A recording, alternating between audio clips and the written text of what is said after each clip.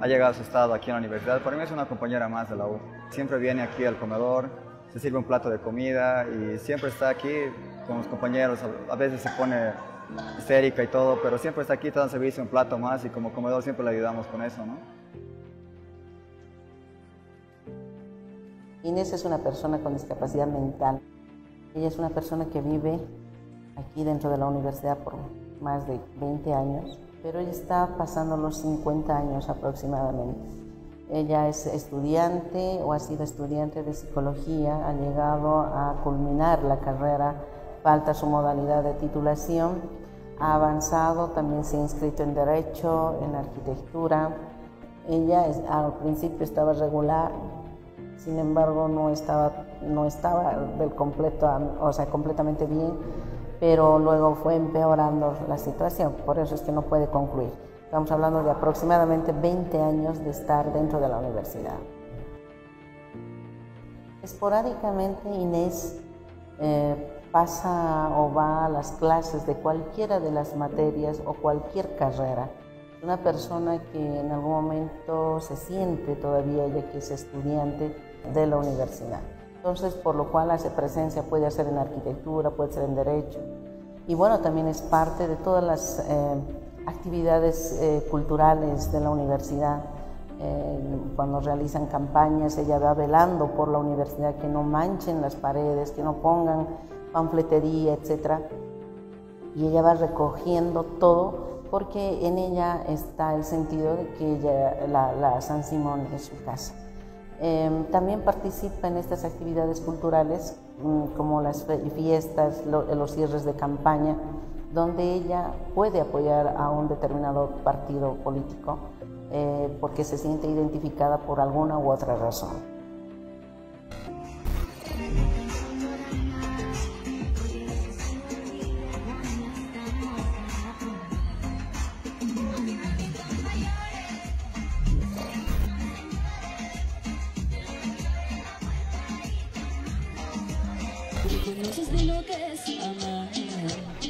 Es una persona que vive su vida normal, vive muy normal su vida. Solo hay momentos en que ella obviamente tiene su crisis, eh, pero después ella se dedica por eso de cuidar la universidad, de, pasear, de ver que todas las cosas estén regularmente estables y bueno, eh, tiene una vida normal como cualquier otra persona.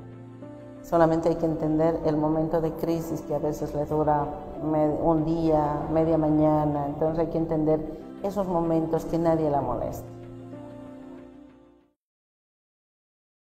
Inés es una persona que todavía depende del papá. Su papá es quien mensualmente le manda una mensualidad a Inés y Inés tiene carnet de identidad y ella va y recoge fácilmente del envío que le hacen.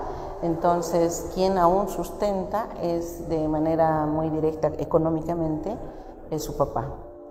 Quien vive en Tupiza, entonces eh, Inés es procedente de Tupiza, por tanto aquí tiene eh, familiares que por su condición eh, de salud no tiene cercanía con ellos. Inés ha vivido, bueno, en varios lugares, en primer lugar ha estado ubicado por tecnología. Posteriormente estuvo viviendo aquí en La Torre, que es un lugar muy peligroso para Inés.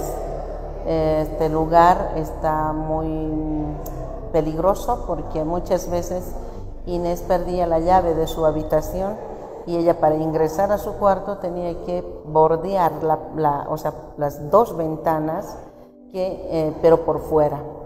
Entonces ella corría el peligro de accidentarse, de caer, morir, eh, pero también corría el riesgo de eh, electrocutarse porque en la torre ella tenía acceso a la terraza y en la terraza habían cables de alta tensión sueltos. Entonces, para, para, la universidad ha sido una tremenda preocupación el poder ver por ella, para ver qué, qué íbamos a hacer porque no se la puede dejar a una persona expuesta a semejante peligro.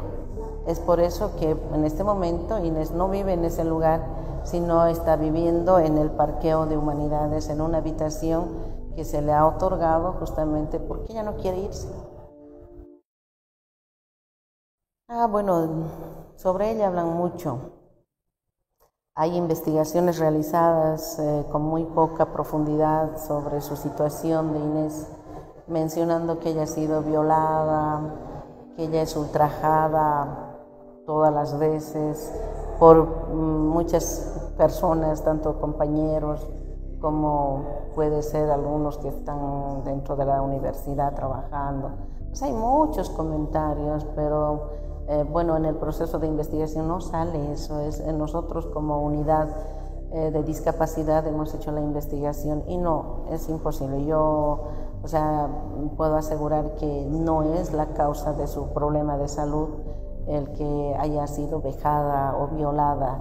Tal vez ella ha tenido algunos problemas, eh, no sé, no puedo asegurar eso, pero la causa fundamental es otra.